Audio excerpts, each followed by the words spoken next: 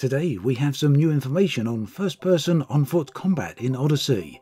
It contains details on weapons, personal shields, armour, suits and more. So let's take a look.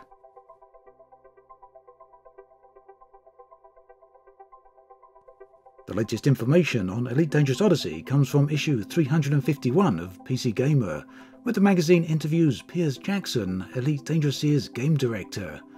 The magazine will be on shelves on Thursday, however it's already in the hands of subscribers, as such details have been posted to Reddit thanks to redditor Dinbar.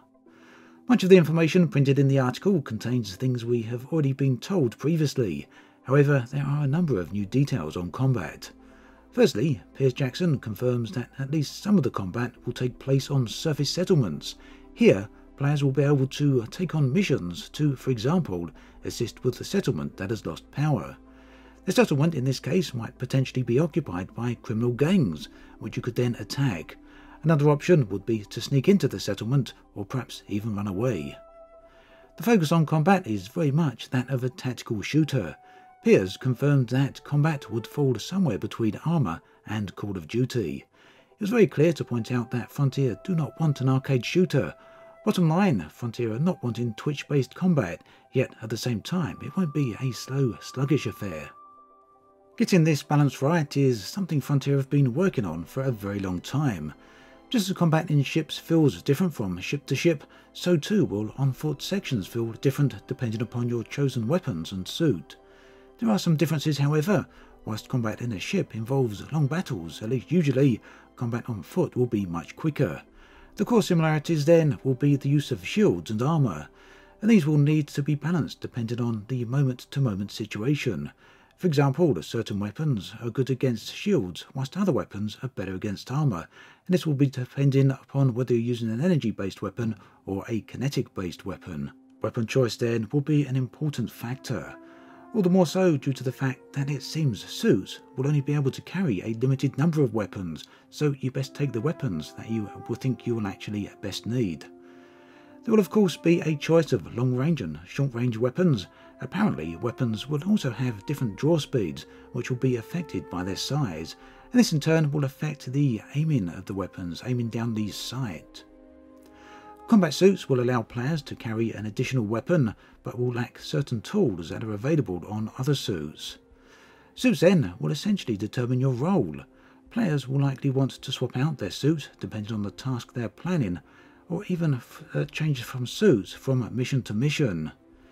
It was also made clear that combat with ships and on foot are not separate. That means that ships are free to get involved with attacks on settlements whilst players are doing the same on foot. How this actually plays out in terms of balance though is something that we'll have to just wait and see. After all, players on foot trying to shoot down ships might be a tough call, unless of course they have very specialised weapons but it does seem unlikely they'll be shooting at a ship with a hand pistol. Ships meanwhile risk being a very real threat in my opinion. The massive weapons on even the smallest of ships would likely pose a huge risk to anyone on foot, so how all of this actually plays out is going to be very interesting indeed. I'm hoping Frontier are able to balance this well, because if not, there could be a load of different problems. Another interesting piece of information from the article is that players will be able to physically board another player's ship, just so long as the ship is open for them to do so. This is what Frontier called a physical version of multi-crew, because uh, multi-crew right now is basically done through holograms. So essentially what we're about to do is to travel with another player on board their ship, and whilst doing so perhaps help with their weapons and then disembark at the destination, wherever that may be, whether it's at a space station or somewhere else on a planet.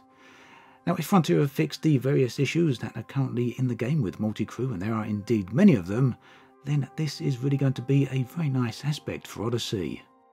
Now, elsewhere in the article, there's a few new screenshots. Unfortunately, I can't show these in the video. However, one of the uh, images shows an SRV driving into a settlement with someone walking next to it, and in another screenshot we can see a person holding a weapon and letting off an energy burst as a discharge. The weapon's fire looks very similar to a beam laser or a pulse laser on a current existing ship. The way the weapons are being carried certainly looks fitting for an FPS, however this is very hard to judge with the static images, we do need to see some movement. Now, as with my previous video on the SRVs, and this is still speculation, I do feel that SRVs will play an important part in Odyssey. How far Frontier go with this though is certainly an open question, as is of course the use of engineers. We know there will be new engineers on Odyssey, whether these are exclusively for suit upgrades though, or if they will also be able to be used with uh, SRVs, will certainly make a huge difference. Right now there's no information on when the next dev diary will be, but just maybe it will be able to answer a few of these questions. At any rate, that's most of the new information. You can find a link to the Reddit thread in the video description. As always, thanks for watching, and I'll catch you guys and girls next time.